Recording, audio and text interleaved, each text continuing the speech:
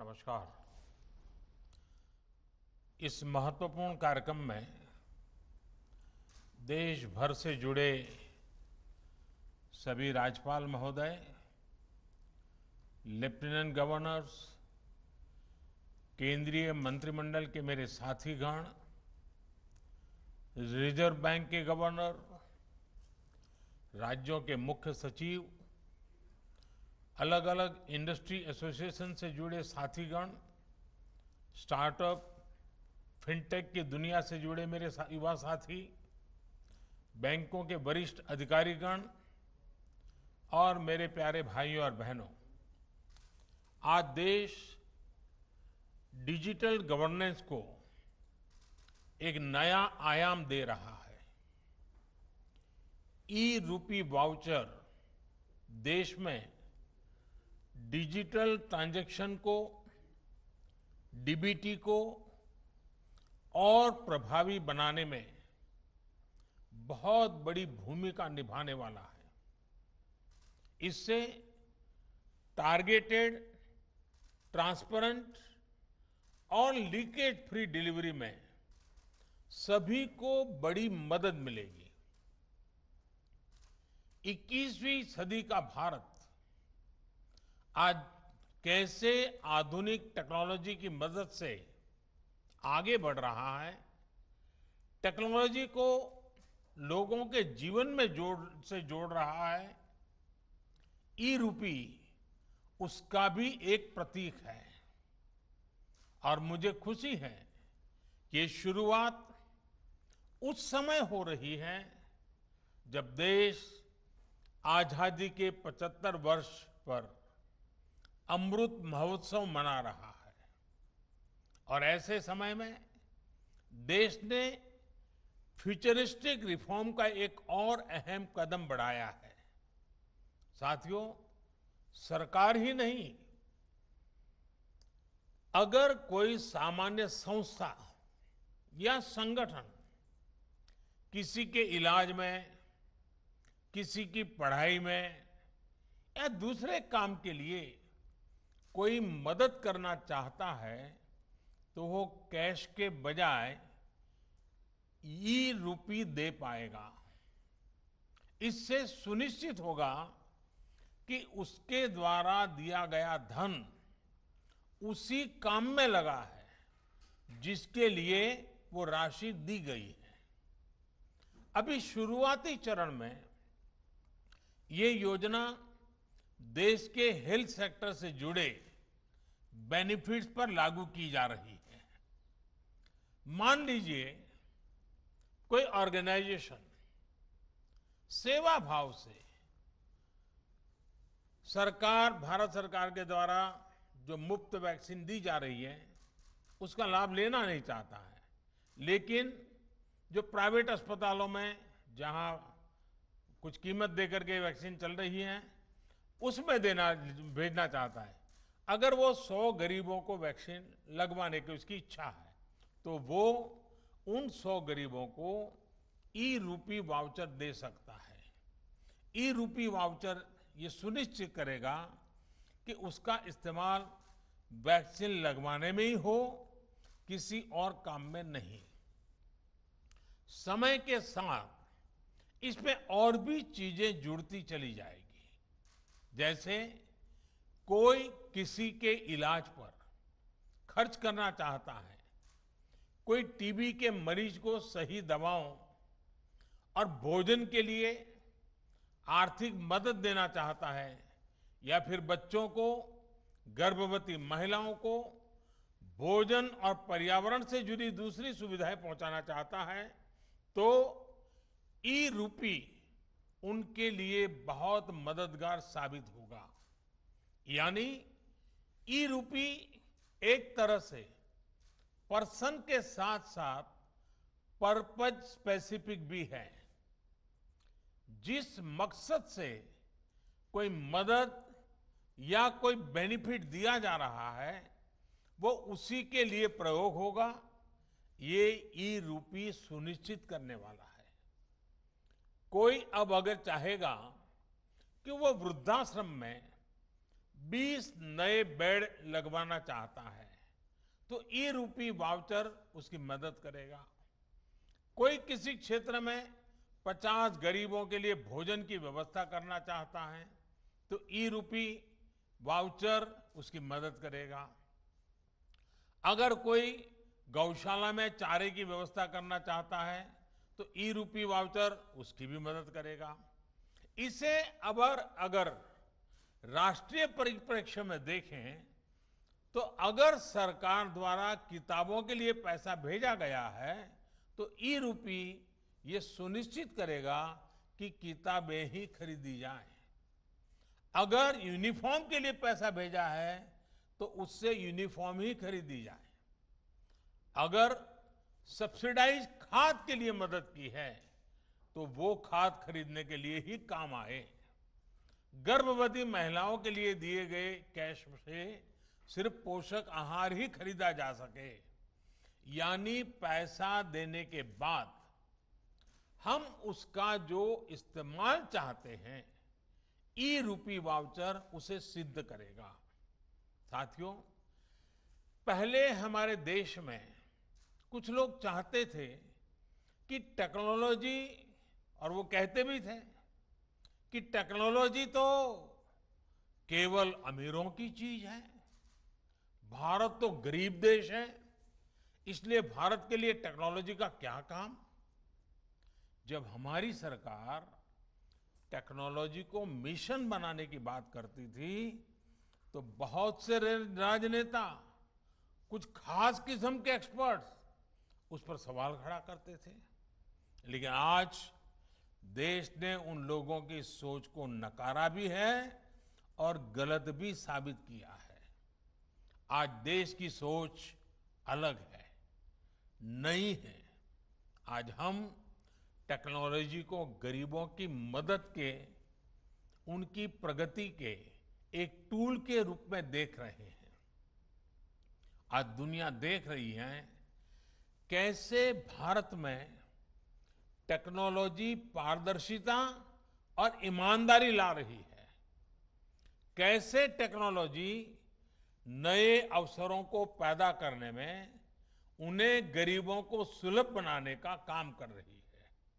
और कैसे टेक्नोलॉजी सरकार और लाल फीताशाही पर सामान्य मानवी की निर्भरता को कम कर रही है? आप आज के ही यूनिक प्रोडक्ट को देखिए। आज हम यहाँ तक इसलिए पहुँचे हैं क्योंकि देश ने जनधन खातों को खोलने, उन्हें मोबाइल और आधार से जोड़ने और जैम जैसी व्यवस्था के लिए वर्षों मेहनत की है। जब जैम को शुरू किया गया था, तब बहुत से लोग इसके महत्व को नहीं समझ पा रहे थे। लेकिन इसकी अहमियत को हमने लॉकडाउन के समय देखा। जब दुनिया के बड़े बड़े देश परेशान थे कि लॉकडाउन में कैसे अपने गरीबों की मदद करें, लेकिन भारत के पास एक पूरी व्यवस्था तैयार थी। दूसरे देश अपने यहाँ के पोस्ट ऑफ़िस और बैंक खुलवा रहे थे तो वहीं भारत महिलाओं के बैंक खातों में सीधे आर्थिक मदद भेज रहा था। भारत में अब तक डायरेक्ट बेनिफिट ट्रांसफ़र के ज़रिए करीब साढ़े सत्रह लाख करोड़ रुपए सीधे लाभार्थियों के खाते में भेजे जा चुके हैं। आज केंद्र सरकार 300 से ज़्यादा योजनाओं का लाभ डीबीटी के माध्यम से, डायरेक्ट बेनिफिट ट्रांसफ़र के माध्यम से लोगों तक पहुँचा रही है। लगभग 90 करोड़ देशवासियों को इसके तहत किसी न किसी रूप में लाभ हो रहा है। राशन हो, एलपीजी गैस हो, इलाज हो स्कॉलरशिप हो, पेंशन हो, मजदूरी हो, घर बनाने के लिए मदद हो, ऐसे अनेक लाभ डीबीटी से मिल रहे हैं। पीएम किसान सम्मान निधि के तहत एक लाख पैंतीस हज़ार करोड़ रुपए सीधे किसानों के बैंक अकाउंट में पहुँचाए गए हैं। इस बार तो किसानों से जो गेहूँ की सरकारी खरीद हुई है, उसका लगभग पचासी हज़ार करोड़ रुपए सीधा किसानों के बैंक खाते में ही ट्रांसफ़र किया गया है। इन सारे प्रयोगों का बहुत बड़ा लाभ ये हुआ है कि देश के करीब करीब पौने दो लाख करोड़ रुपए से अधिक गलत हाथों में जाने से बचे हैं। साथियों, भारत आज दुनिया को दिखा रहा है कि टेक्नोलॉजी को एडप्ट करने में, उससे जुड़ने में वो किसी से भी पीछे नहीं है।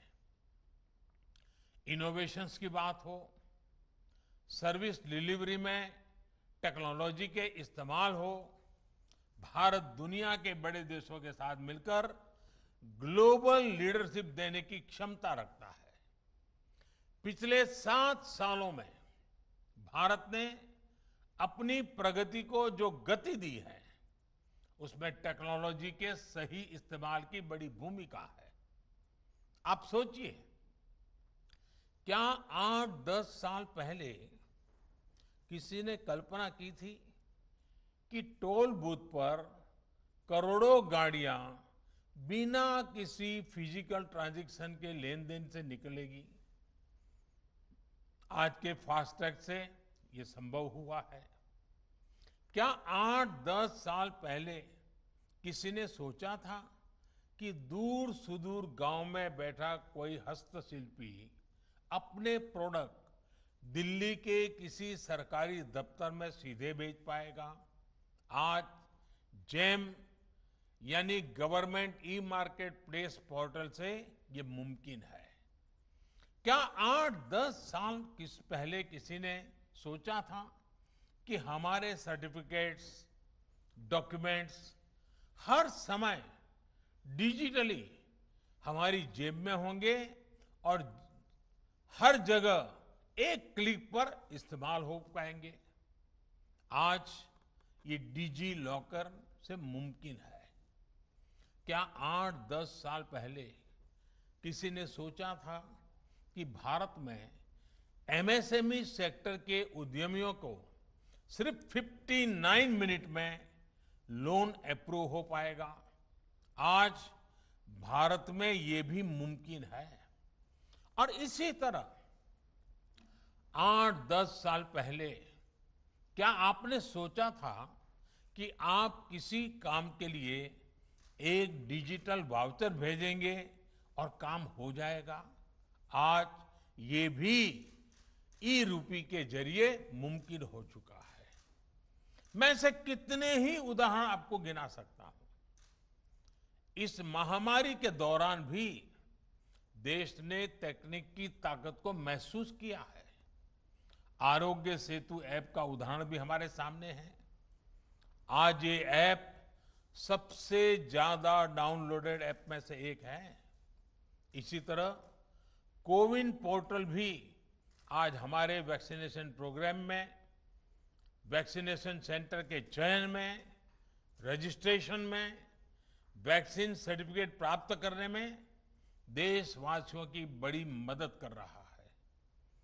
पुरानी व्यवस्था चल रही होती तो वैक्सीनेशन लगवाने के बाद सर्टिफिकेट के लिए दौड़ना पड़ता रहा होता है दुनिया के कई बड़े देशों में भी आज पेपर पर हाथ से लिख करके सर्टिफिकेट दिया जा रहा है। लेकिन भारत के लोग एक क्लिक में डिजिटल सर्टिफिकेट डाउनलोड कर रहे हैं। इसलिए आज भारत का कोविन सिस्टम दुनिया के कई देशों को आकर्षित कर रहा है। भारत इसे दुनिया के साथ साझा भी कर रहा है। साथियों, मुझे याद है कि चार साल पहले जब भीम ऐप लॉन्च किया गया था, तब मैंने कहा था कि वो दिन दूर नहीं, जब अधिकांश बिज़नेस ट्रांजैक्शन नोट और सिक्कों के बजाय डिजिटली होंगे।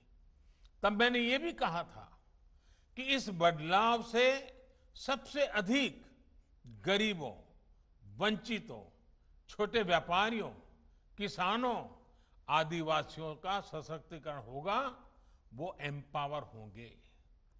आज हम ये साक्षात अनुभव कर रहे हैं। हर महीने यूपीआई ट्रांजैक्शन के नए रिकॉर्ड बन रहे हैं। जुलाई महीने में 300 करोड़ से अधिक ट्रांजैक्शन यूपीआई से हुए हैं, जिसमें 6 लाख करोड़ रुपए का लेन देन हुआ है। आज चाय, जूस और फल सब्ज़ी का ठेला लगाने वाले भी इसका उपयोग कर रहे हैं। वहीं भारत का रुपे कार्ड भी देश का गौरव बढ़ा रहा है। सिंगापुर, भूटान में भी इसे लॉन्च किया जा चुका है। आज देश में छियासठ करोड़ रुपए कार्ड हैं और देश में हज़ारों करोड़ रुपए का ट्रांजैक्शन रुपे कार्ड से भी हो रहा है। इस कार्ड ने गरीब को भी सशक्त किया है। उसे इस भावना से भरा है कि वो भी अपने पास डेबिट कार्ड रख सकता है, उसका इस्तेमाल कर सकता है। साथियों, टेक्नोलॉजी कैसे गरीबों को सशक्त करती है, इसका एक और उदाहरण है, पीएम स्वनिधि योजना। हमारे देश में तो रेहड़ी पटरी वाले, ठेला चलाने वाले भाई बहन है उनके फाइनेंशियल इंक्लूजन के बारे में पहले कभी नहीं सोचा गया था। अपना काम आगे बढ़ाने के लिए उन्हें बैंक से मदद मिलना असंभव था। जब डिजिटल ट्रांजैक्शन की कोई हिस्ट्री ही ना हो, कोई डॉक्यूमेंट ना हो तो बैंक से लोन लेने के लिए हमारे रेहड़ी पटरी वाले साथी पहला कदम भी नहीं बढ़ा पाते थे। इसी को समझते हुए हमारी सरकार ने पीएम स्वनिधि योजना की शुरुआत की। आज देश के छोटे बड़े शहरों में 23 लाख से अधिक रेहड़ी, पटरी और ठेले वालों को इस योजना के तहत मदद दी गई है। इसी कोरोना काल में करीब करीब 2300 करोड़ रुपए उन्हें दिए गए हैं। ये गरीब साथी अब डिजिटल ट्रांजैक्शन कर रहे हैं और अपना लोन चुका रहे हैं। यानी अब उनके लेन देन की एक डिजिटल हिस्ट्री बन रही है। पीएम स्वनिधि में ये व्यवस्था की गई है कि दस हज़ार रुपये का पहला लोन चुकाने पर बीस हज़ार का दूसरा लोन और दूसरा लोन चुकाने पर पचास हज़ार का तीसरा लोन रेहड़ी पटरी वाले साथियों को दिया जाएगा।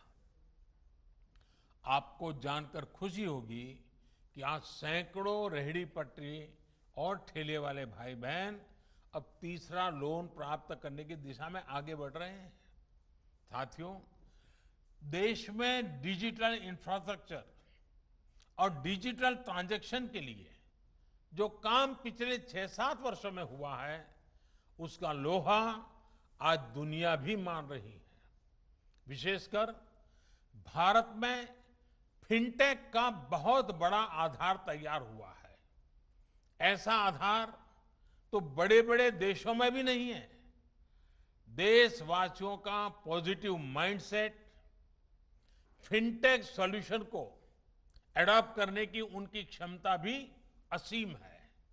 इसलिए ये आज भारत के युवाओं, भारत के स्टार्टअप इकोसिस्टम के लिए भी बेहतरीन मौका है। भारत के स्टार्टअप्स के लिए फिनटेक में अनेकों संभावनाएँ हैं।